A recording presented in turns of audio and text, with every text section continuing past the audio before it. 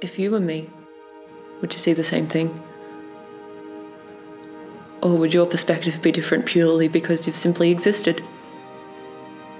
You've been out there, living, breathing, doing things that I can only observe.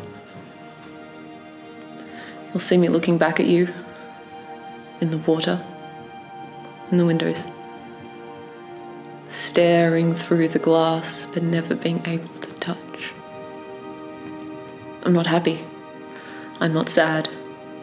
Simply an image that replicates everything down to the most minor details of your world. And yet, it will never be the same.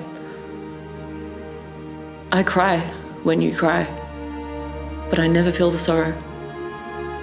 I laugh when you laugh, but I never experience the joy. I am you,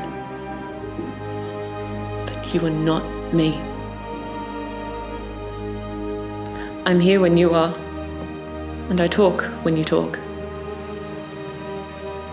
Only my words are never heard because they're never mine to begin with.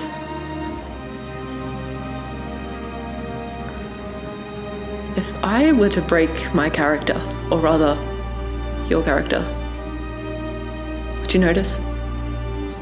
Or simply accept that whatever I do is a direct copy of your movements, your features, your world that I can mimic but never be a part of?